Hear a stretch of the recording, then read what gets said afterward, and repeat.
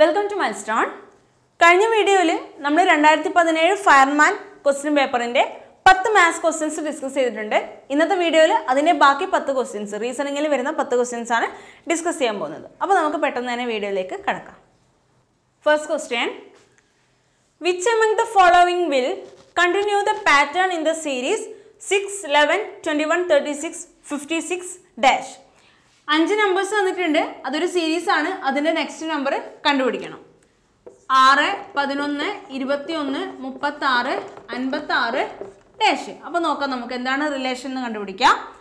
ആറ് പതിനൊന്ന് ആവണമെങ്കിൽ അഞ്ച് കൂട്ടി. അല്ലേ? ഈസി ആയിട്ടുള്ള റിലേഷനാണ് ഇവിടെ.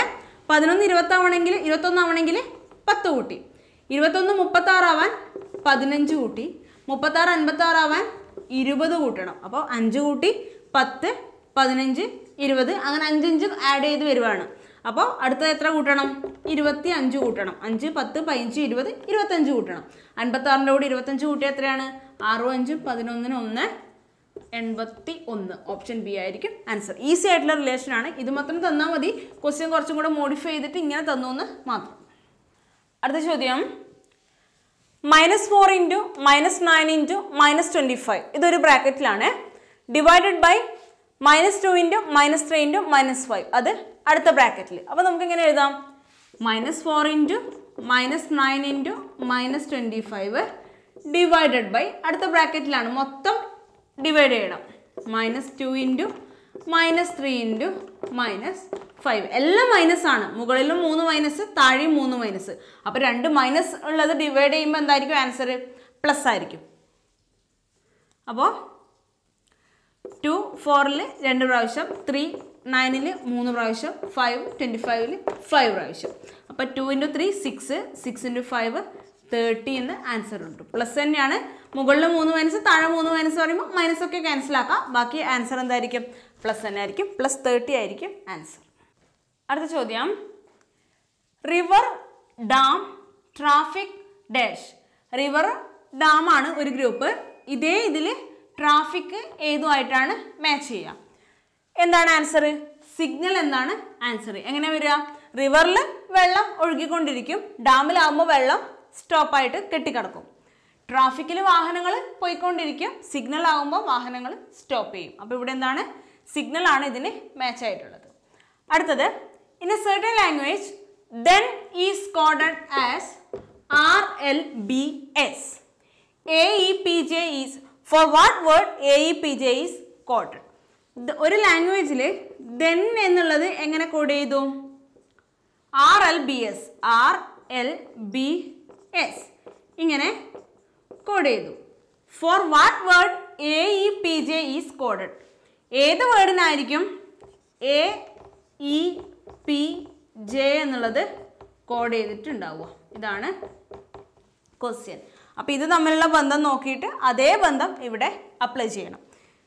ആർ ടി ഉള്ളത് ആറായി എങ്ങനെയാണ് വരുന്നത് ആറ് കഴിഞ്ഞ് P Q R S T രണ്ടാമത്തെ വേർഡാണ് ടി അല്ലേ? ഈ ഡയറക്ഷനിൽ പ്ലസ് ടു രണ്ടാമത്തതാണ് എന്ത് വരുന്നത് ടി വരുന്നത്. അടുത്ത നോക്കാം. H I J K L I J K L നാലാമത്തെ വേർഡാണ് എൽ വരുന്നത്. ഈ ഡയറക്ഷനിൽ നാലാമത്തെ word L okay B C D E മൂന്നാമത്തെ വേർഡ് ഈ മുകളിലോട്ടുള്ള ഡയറക്ഷനിൽ പ്ലസ് മൂന്നാണ് ഈ വരുന്നത്. ഇനി N O P Q R S അഞ്ചാമത്തെ വേർഡ് താഴേക്കുള്ള ഡയറക്ഷനിൽ അഞ്ചാമത്തെ വേർഡാണ് എസ് വരുന്നത്. അപ്പോൾ ഓക്കെ ആണല്ലോ?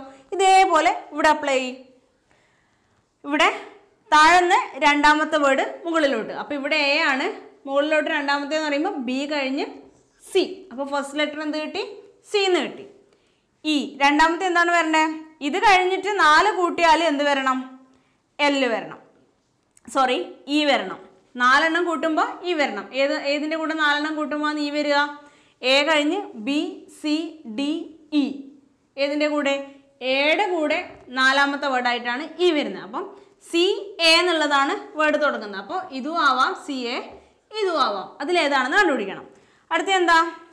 ഇവിടുന്ന് മുകളിലേക്കുള്ള ഡയറക്ഷനിൽ മൂന്ന് കൂട്ടിയതായിരിക്കണം അടുത്ത ലെറ്റർ പി കഴിഞ്ഞ് ക്യു ആർ എസ് മൂന്നാമത്തെന്ന് പറയുമ്പോൾ ക്യു ആർ എസ് അപ്പോൾ C A S C A E ആണ്. അപ്പോൾ ഇതല്ല. സി എ എസ് അപ്പോൾ ആൻസർ ഏതാണ്? ഓപ്ഷൻ സി നാലാമത്തെ കണ്ടുപിടിക്കേണ്ട ആവശ്യമില്ല.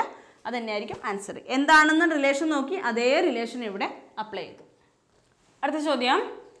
What is my relation with the daughter of the son of the father's sister daughter of the son of the father's sister blood relation എന്നുള്ള topic നമ്മൾ already video separate ചെയ്തിട്ടുള്ളതാണ്. കാണാത്തവരുണ്ടെങ്കിൽ അത് കാണുക. ഇവിടെ എന്താണ് പറയുന്നത് daughter of the son of the father's sister അച്ഛന്റെ സിസ്റ്ററിന്റെ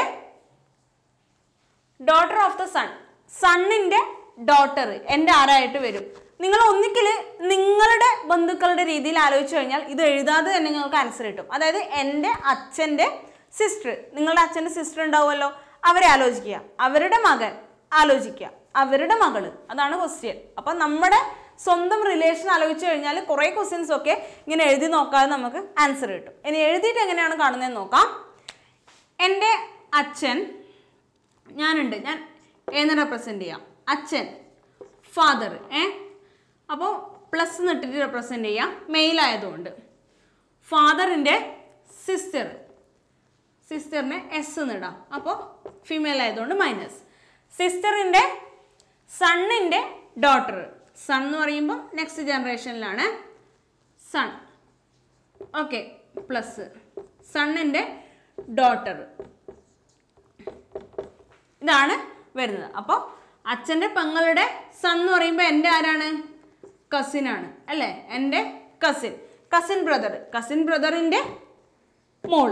ബ്രദറിന്റെ മോൾ എന്ന് പറയുമ്പോൾ ആരാണ്? നീസാണ് ബ്രദറിന്റെ മോൾ എന്ന് പറയുമ്പോൾ നീസാണ് അപ്പോൾ അച്ഛന്റെ പെങ്ങളുടെ മോൻ എന്ന് പറയുമ്പോൾ എന്റെ കസിനാണ് കസിൻ ബ്രദർ ആവും.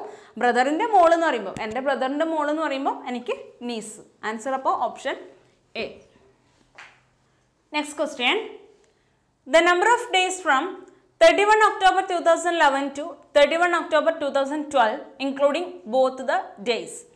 രണ്ടായിരത്തി പതിനൊന്ന് ഒക്ടോബർ മുപ്പത്തൊന്ന് മുതൽ രണ്ടായിരത്തി പന്ത്രണ്ട് ഒക്ടോബർ മുപ്പത്തൊന്ന് വരെ എത്ര ദിവസങ്ങൾ ഉണ്ടാവും ആ രണ്ട് ദിവസങ്ങൾ ഉൾപ്പെടെ എന്നാണ് ക്വസ്റ്റ്യൻ നോർമൽ കേസിൽ ഇന്ന് കഴിഞ്ഞ് അടുത്ത വർഷം ഇതേ ദിവസം ആവണമെങ്കിൽ മുന്നൂറ്റി അറുപത്തി അഞ്ച് ദിവസങ്ങൾ കഴിയണം. ഓക്കെ മുന്നൂറ്റി അറുപത്തഞ്ച് ദിവസം. ഒരു ഇയർ എന്ന് പറയുന്നത് സാധാരണ മുന്നൂറ്റി അറുപത്തഞ്ച് ദിവസമാണ്. ഇന്ന് കഴിഞ്ഞ് ഇനി അടുത്ത അടുത്ത വർഷം അതേ ദിവസം ആണെങ്കിൽ മുന്നൂറ്റി അറുപത്തഞ്ച് ദിവസം.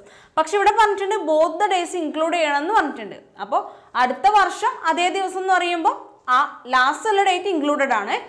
ഇന്ന് എന്നുള്ള ഡേറ്റ് ഇൻക്ലൂഡഡ് ആയിരിക്കില്ല. ഇന്നിന് ശേഷമാണ് അടുത്ത വർഷത്തേക്ക് കൂട്ടുന്നത്. അപ്പോൾ ആ ഇന്ന് എന്നുള്ള ഡേറ്റ് ഇൻക്ലൂഡ് ചെയ്യേണ്ടതുകൊണ്ട് അതായത് മുപ്പത്തൊന്ന് ഒക്ടോബർ രണ്ടായിരത്തി പതിനൊന്ന് നമുക്ക് ഇൻക്ലൂഡ് ചെയ്യേണ്ടതുകൊണ്ട് പ്ലസ് വൺ അതുപോലെ രണ്ടായിരത്തി പന്ത്രണ്ട് എന്ന് പറയുന്നത് ഒരു ലീപ്പ് ഇയർ ആണ് അല്ലേ? എങ്ങനെയാണ് ലീപ്പ് ഇയർ ആണോ ചെക്ക് ചെയ്യുന്നത് ഇതിനെ നാല് കൊണ്ടോ നാനൂറ് കൊണ്ടോ ഹരിക്കാൻ പറ്റുമെങ്കിൽ അതൊരു ലീപ്പ് ഇയർ ആയിരിക്കും. രണ്ടായിരത്തി പന്ത്രണ്ടിനെ നാല് കൊണ്ട് ഹരിക്കാൻ പറ്റും പൂർണമായിട്ട്. അപ്പോൾ അതൊരു ലീപ്പ് ഇയർ ആണ്. ലീപ്പ് ഇയർ ആണെങ്കിൽ ഫെബ്രുവരിയിൽ ഇരുപത്തി ഒൻപത് ദിവസം ഉണ്ടാവും. ഇരുപത്തി എട്ട് ദിവസമാണെങ്കിലാണ് മുന്നൂറ്റി അറുപത്തഞ്ച് ദിവസം. ഇരുപത്തി ഒൻപത് ദിവസം ഉള്ളതുകൊണ്ട് ആ ഒന്ന് ഒരു ദിവസം എക്സ്ട്രാ ആഡ് ചെയ്യണം. അപ്പോൾ മൊത്തം എത്രയായി? അറുപത്തഞ്ച് അറുപത്താറ് അറുപത്തി ഏഴ് ദിവസം എന്നുണ്ടാവും. ബോത്ത് ഡേയ്സ് ഇൻക്ലൂഡ് ചെയ്യേണ്ടതുകൊണ്ട് ആ ഫസ്റ്റ് ഡേ വണ്ണ് പിന്നെ ഫെബ്രുവരി ഇരുപത്തി ഒൻപത് ഉണ്ടാവും. ലീപ്പ് ഇയർ ആണ് രണ്ടായിരത്തി പന്ത്രണ്ട് അപ്പോൾ ആ ഒരു വർഷ ദിവസം കൂടെ കൂട്ടുമ്പോൾ ടോട്ടൽ മുന്നൂറ്റി അറുപത്തി ഏഴ് ദിവസങ്ങൾ അടുത്ത ചോദ്യം. കംപ്ലീറ്റ് ദ സീരീസ് ഒരു സീരീസ് തന്നിട്ടുണ്ട് അതിന്റെ അടുത്ത ലെറ്റർ എന്താണെന്ന് കണ്ടുപിടിക്കണം. A P B Q C എന്താണ് റിലേഷൻ എ കഴിഞ്ഞ് ഒന്ന് ഒന്നിടവിട്ട് അടുത്തത് ബി അത് കഴിഞ്ഞ് ഒന്ന് വിട്ടി- വിട്ടിട്ട് സി അങ്ങനെയാണ് പോകുന്നത്. പി കഴിഞ്ഞ് ഒന്ന് വിട്ടിട്ട് ക്യു ക്യു കഴിഞ്ഞ് ഒന്ന് വിട്ടിട്ട് അടുത്ത ലെറ്റർ ആയിരിക്കും. പി ക്യു ആർ അപ്പോൾ ആൻസർ എന്താണ്? ആർ അപ്പോൾ A B C P Q R രണ്ട് സീരീസ് ഇടയിൽ ഇടയിൽ എഴുതിയതാണ് സംഭവം. അപ്പോൾ ഇവിടെ ആൻസർ ആർ അടുത്ത question how many chords can be drawn through seven points on a circle ഒരു സർക്കിളിലെ ഏഴ് പോയിന്റ്സ് ഉപയോഗിച്ചിട്ട് എത്ര കോഡ്സ് വരക്കാൻ പറ്റും? കോഡ്സ് എന്ന് പറഞ്ഞാൽ എന്താണ്? ഞാണുകൾ അല്ലേ? രണ്ട് പോയിന്റ് ഉണ്ടെങ്കിൽ ആ രണ്ട് പോയിന്റ് തമ്മിൽ ബന്ധിപ്പിച്ച് വരക്കുന്നതാണ് ഞാണുകൾ എന്ന് പറയുന്നത് അല്ലേ? ഏതിലും വരക്കാം സെന്ററിലൂടെ ആവുമ്പോൾ അത് എന്ത് പറയും? വ്യാസം എന്ന് പറയും അല്ലേ? ഡയമീറ്റർ അഥവാ വ്യാസം. ബാക്കി ഏത് രണ്ട് പോയിന്റ്സിലൂടെ വരക്കുന്നതാണ് എന്ത് പറയുന്നത്? കോഡ്സ് ഏറ്റവും വലിയ കോഡാണ് ഈ വ്യാസം എന്ന് പറയുന്നത്. അപ്പോൾ ഇവിടെ സെവൻ പോയിന്റ്സ് ഉപയോഗിച്ചിട്ട് എത്ര കോഡ്സ് ഇങ്ങനെ വരക്കാൻ പറ്റും? ഏഴ് പോയിന്റ്സ് ഉണ്ടെങ്കിൽ ഇങ്ങനെയുള്ള എത്ര കോഡുകൾ വരക്കാൻ പറ്റും എന്നാണ് ക്വസ്റ്റ്യൻ അത് എളുപ്പത്തിൽ കണ്ടുപിടിക്കാൻ പറ്റും. N into N minus one by two ഈ ഇക്വേഷൻ ഉപയോഗിച്ചാൽ എളുപ്പത്തിൽ കോഡ്സിന്റെ എണ്ണം കണ്ടുപിടിക്കാൻ പറ്റും. ഇവിടെ എൻ എത്രയാണ്? സെവൻ പോയിന്റ്സ് അപ്പോൾ സെവൻ ആണ് എൻ ഏഴ് ഇന്റു ഏഴ് മൈനസ് ഒന്ന് ആറ് ബൈ ടു രണ്ട് ആറിൽ മൂന്ന് പ്രാവശ്യം. മൂന്ന് ഇന്റു ഏഴ് ഇരുപത്തൊന്ന് ആൻസർ കിട്ടും. ഇനി എയ്റ്റ് പോയിന്റ്സ് ആണെങ്കിൽ എട്ട് ഇന്റു എയ്റ്റ് മൈനസ് വൺ ഏഴ് ബൈ രണ്ട്. ആറ് പോയിന്റ്സ് ആണെങ്കിൽ ആറ് ഇന്റു അഞ്ച് ബൈ രണ്ട്. എത്ര പോയിന്റ്സ് ആണെങ്കിലും N into N minus one by two എന്ന് പറയുന്ന ഇക്വേഷൻ ഫോളോ ചെയ്യുക അടുത്ത question the decimal form of പതിനഞ്ച് പ്ലസ് രണ്ട് ബൈ പത്ത് പ്ലസ് മൂന്ന് ബൈ നൂറ് fifteen plus two by ten plus three by hundred ഇതിന്റെ ഡെസിമൽ ഫോം എന്തായിരിക്കും എന്നാണ് ക്വസ്റ്റ്യൻ പതിനഞ്ച് പ്ലസ് രണ്ട് ബൈ പത്ത് എന്ന് പറഞ്ഞാൽ എത്രയാണ്? പോയിന്റ് ടു ഒരു സ്ഥാനം കഴിഞ്ഞിട്ട് പോയിന്റ് മൂന്ന് ബൈ നൂറ് എന്ന് പറഞ്ഞാൽ പോയിന്റ് സീറോ ത്രീ രണ്ട് സ്ഥാനം കഴിഞ്ഞ് പോയിന്റ് ഇതൊക്കെ ആഡ് ചെയ്താൽ ആൻസറായി ഫിഫ്റ്റീൻ പ്ലസ് അതായത് ഫിഫ്റ്റീൻ പോയിന്റ് തൊട്ടടുത്ത സ്ഥാനത്ത് ടു തൊട്ടടുത്ത സ്ഥാനത്ത് three fifteen point two three ഇത് സൈഡിൽ എഴുതി കൂട്ടേണ്ട ആവശ്യമൊന്നുമില്ല. ഫിഫ്റ്റീൻ ഉണ്ട് പോയിന്റ് ടു ഫിഫ്റ്റീനും പോയിന്റ് ടൂവും കൂടെ കൂട്ടിയാൽ ഫിഫ്റ്റീൻ പോയിന്റ് ടു ആവും. സീറോ ത്രീ ആയതുകൊണ്ട് ടൂവും സീറോവും ആഡ് ചെയ്താൽ ടു ബാക്കിയുള്ള ത്രീ അതുപോലെ വരും. ഫിഫ്റ്റീൻ പോയിന്റ് ടു ത്രീന്ന് ആൻസർ കിട്ടും. അപ്പോൾ ഈ വീഡിയോ ഇതിന് തൊട്ട് മുന്നേ ചെയ്ത പാർട്ട് വൺ വീഡിയോയും കൂടെ ആയാൽ രണ്ടായിരത്തി പതിനേഴിൽ നടന്ന ഫയർമാൻ എക്സാമിന്റെ maths and reasoning questions complete ആയിട്ടുണ്ട്. ഇനി നിങ്ങൾക്ക് ഇതിന്റെ ജി കെ ക്വസ്റ്റ്യൻസ് വേണമെന്നുണ്ടെങ്കിൽ താഴെ ഡിസ്ക്രിപ്ഷനിൽ ലിങ്ക് കൊടുത്തിട്ടുണ്ട്. ക്വസ്റ്റ്യൻ പേപ്പർ ഡൗൺലോഡ് ചെയ്യാൻ. അത് ഡൗൺലോഡ് ചെയ്താൽ ക്വസ്റ്റ്യനും ആൻസറും കിട്ടും. അതിൽ കയറിയിട്ട് ഡൗൺലോഡ് ചെയ്യാം. Milestone P S C dot com എന്ന് പറയുന്ന വെബ്സൈറ്റ് കയറി കഴിഞ്ഞാൽ എല്ലാ ക്വസ്റ്റ്യൻ പേപ്പേഴ്സും നിങ്ങൾക്ക് ഡൗൺലോഡ് ചെയ്ത് എടുക്കാൻ പറ്റും. അപ്പോൾ ഫസ്റ്റ് വീഡിയോ കാണാത്തവരുണ്ടെങ്കിൽ അതിന്റെ ലിങ്കും താഴെ ഡിസ്ക്രിപ്ഷനിൽ കൊടുക്കാം. ബാക്കി ജി കെ ക്ലാസ്സുകളൊക്കെ milestone P S C G K എന്ന ചാനലിൽ അവൈലബിൾ ആയിരിക്കും. അപ്പോൾ ഇന്നത്തെ വീഡിയോ ഇഷ്ടമെങ്കിൽ ലൈക്ക് ചെയ്യുക ഷെയർ ചെയ്യുക. കൂടുതൽ വീഡിയോസിനായിട്ട് ചാനൽ സബ്സ്ക്രൈബ് ചെയ്യുക.